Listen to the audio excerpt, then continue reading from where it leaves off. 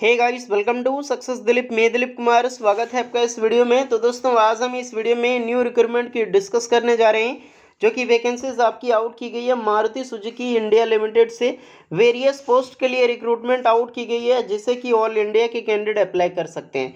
देखिए, यहाँ पर रिसेंटली दो तरह की पोस्टें आउट की गई है। एक आपकी अप्रेंटिसशिप बेस पे है दूसरा आपकी वर्कमैन जो कि आपकी टेम्प्रोरी वर्कमैन होती है, उस तरह से वैकेंसीज निकाली गई है। पहली बात यहाँ पर कि फ़िलहाल जो हमारी क्राइसिस हैं पेंडेमिक के कारण वैकेंसीज नहीं आ रही है गवर्नमेंट से।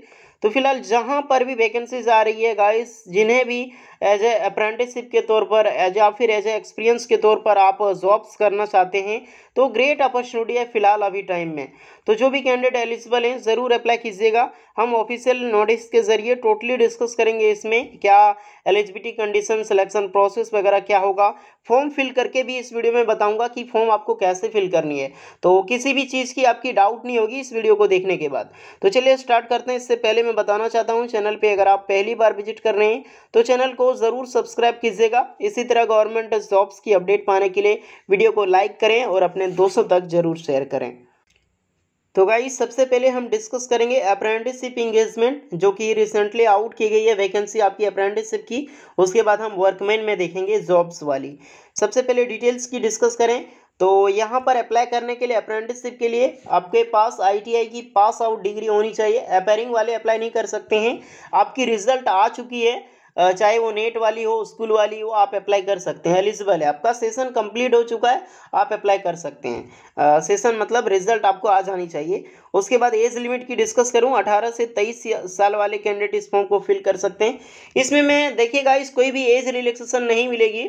चाहे आप एस टी एस सी हों ओ बी सी हों, या फिर पी डब्ल्यू कैंडिडेट अप्लाई कर रहे हैं, इससे कोई भी फ़र्क इनको नहीं पड़ता है। अठारह से तेईस के बीच में ही आपकी एज होनी चाहिए। बिकॉज़ ये एक प्राइवेट ऑर्गेनाइजेशन है तो जितने भी कैंडिडेट इसका अल, अलग रूल्स होता है वो ध्यान रखिएगा तभी आप अप्लाई कीजिएगा। आपकी एज इसके अंडर में आती है आप एलिजिबल हैं तो ज़रूर अप्लाई करें। यहाँ पर एक चीज़ क्वालिफिकेशन रखी गई है आईटीआई पास आउट होनी चाहिए government I T I only ये कोई फ़र्क नहीं पड़ता है गवर्नमेंट अप्रूव्ड होना चाहिए, ये government I T I only क्योंकि ये जो जैपनीज़ कंपनी है, इसीलिए इस तरह का मेंशन करती है तो आपके पास आई टी आई चाहे वो एन सी बी टी हो एस सी बी टी हो डज नॉट मैटर आप अप्लाई कर सकते हैं। देन किसी भी ट्रेड से आप I T I pass out हैं डिग्री आपके हाथ में है, आप अप्लाई ज़रूर करें। चाहे आप मेल हैं या फिर फीमेल हैं डज नॉट मैटर यहाँ पर कोई भी एप्लीकेशन फ़ी वगैरह नहीं लगने वाला है आपका।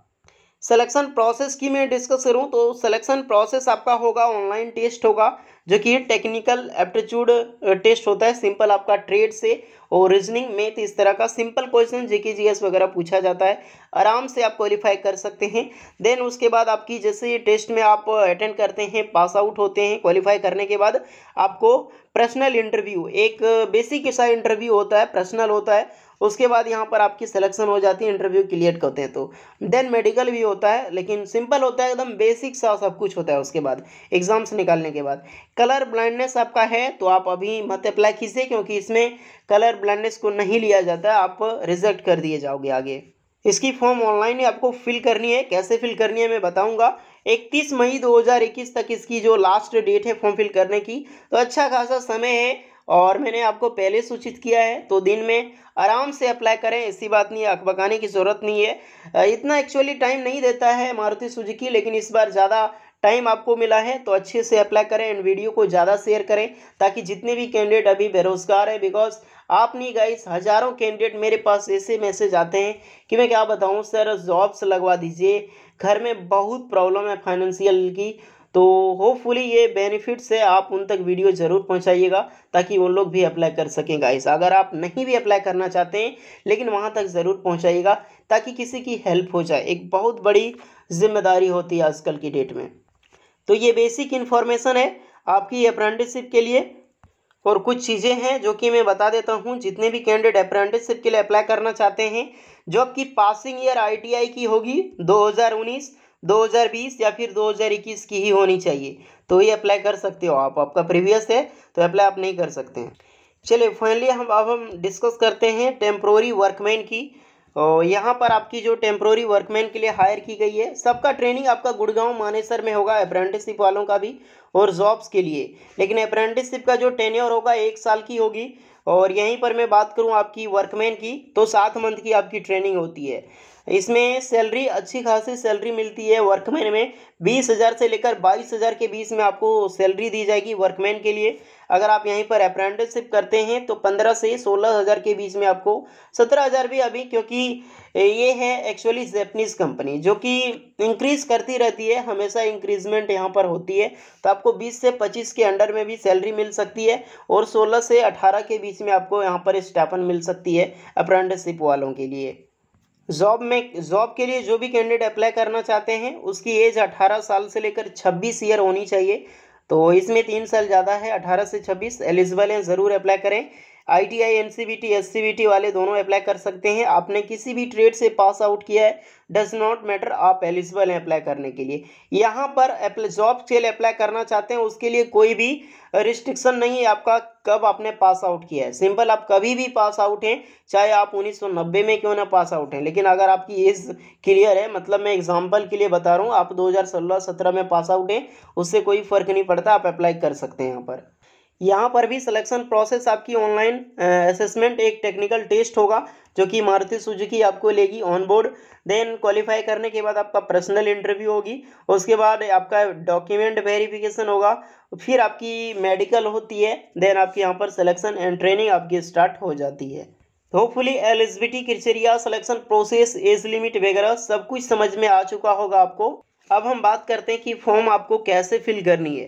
तो अप्लाई नाउ पे सिंपल यहाँ पे एक लिंक मिलेगा डिस्क्रिप्शन में लिंक को ओपन कीजिएगा। तो यहाँ पे दो तरह की ओपनिंग वैकेंसीज दिखाई देगी। अगर आप अप्रेंटिसशिप के लिए अप्लाई करना चाहते हैं तो अप्रेंटिसशिप में करें टेम्प्रोरी वर्कमैन में अप्लाई करना चाहते हैं तो इसमें फिल करें।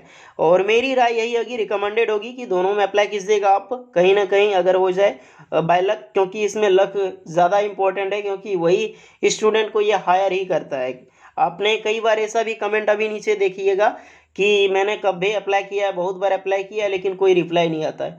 बिकॉज़ उसके मार्क्स बेसिस पे देखकर भी उस तरह की एंड आप अप्लाई करते हैं, कितना जल्दी अप्लाई करते हैं, बहुत सारी क्रिटेरिया को फॉलो करते हुए मारुति सुजुकी यहाँ पर बुलाती है एंड एडमिट कार्ड जारी करती है।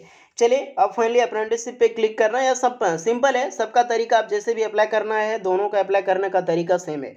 अप्लाई नाउ पे क्लिक कीजिएगा।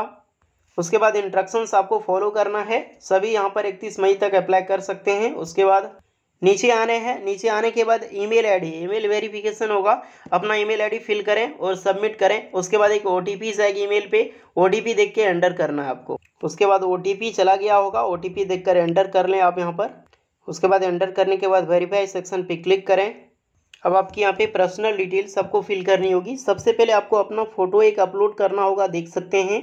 एक पिक्चर जो कि रिसेंटली साइज़ में आपका होना चाहिए, नहीं कि हाल में फ़ोटो खिंचवाया हुआ होना चाहिए। अपलोड पिक्चर पर क्लिक कीजिएगा और जहाँ पर भी फ़ोटो रखा होगा, इसे अपलोड कर लीजिएगा। देन अपलोड सेक्शन पे क्लिक कीजिएगा तो आपका फ़ोटो यहाँ पे अपलोड हो जाएगा। उसके बाद टेस्ट लोकेशन यहाँ पे चूज़ करने के लिए बोला है, लेकिन ऑल इंडिया कहीं पर भी आपकी हो सकती है टेस्ट बेसिकली आपकी एरिया में ही होगी। उसके बाद यहाँ पे अपना फुल नेम फिल करें।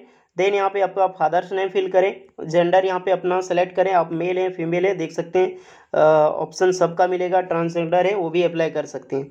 नेक्स्ट यहाँ पे अपना डेट ऑफ़ बर्थ, सबसे पहले डे फिल करें, उसके बाद फिल करने के बाद यहाँ पे अपना मंथ फिल करें, देन यहाँ पे आपको अपना ईयर फिल करने के लिए बोला जाएगा, अपना ईयर फिल अच्छे से फिल कर लीजिएगा, गाइस।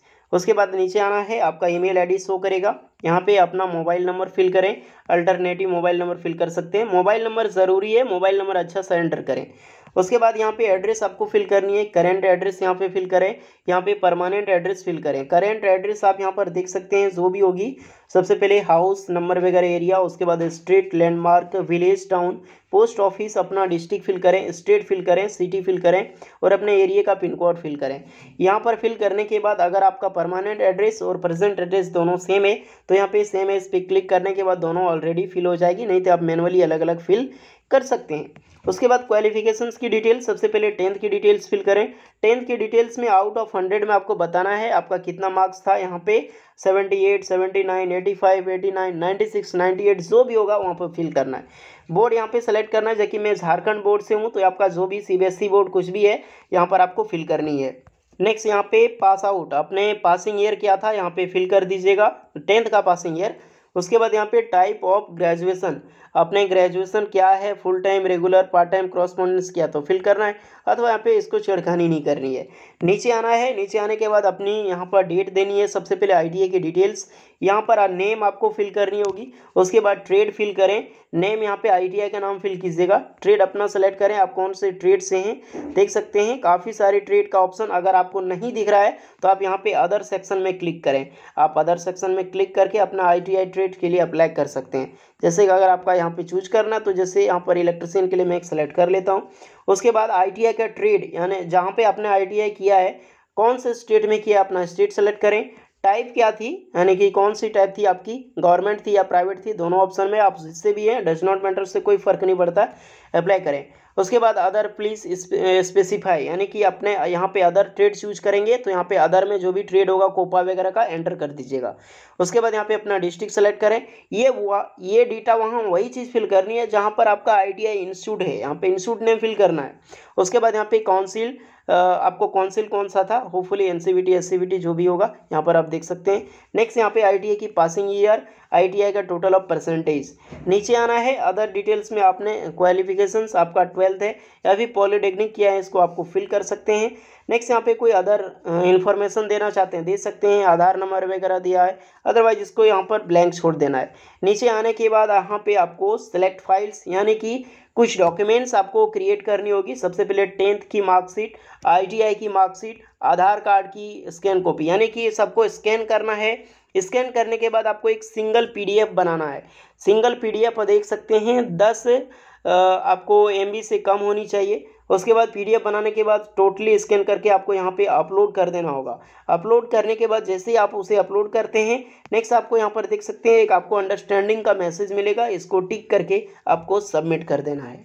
अगर आपका सबमिट नहीं हो रहा होगा, जैसे कि कुछ ब्लैंक यहाँ पे आ रहा होगा तो यहाँ पर सबमिट कर लें हैव यू वर्क इन कहीं पर आप जॉब्स कर रहे हैं या फिर देख सकते हैं M S L M S G तो यहाँ पे नो कर सकते हैं, कर रहे हैं तो यस कीजिएगा। सॉस दीजिएगा, यानी कि नोटिफिकेशन का पता आपको कैसे चला? थ्रो एजेंसी थ्रो आईटीआई तो यहाँ पे थ्रो न्यूज़पेपर एडवर्टाइजमेंट कहीं भी देख सकते हैं फ्रेंड्स वगैरह तो आपको यहाँ पर दे देना है कुछ भी। उसके बाद यहाँ पर आधार नंबर फिल कर लीजिएगा, जो भी आपका आधार नंबर होगा यहाँ पर। उसके बाद गाइस आपका जो फॉर्म है, वो सबमिट हो जाएगा। देख सकते हैं आपकी ये डिटेल्स वगैरह शो करेगी मोबाइल नंबर वगैरह।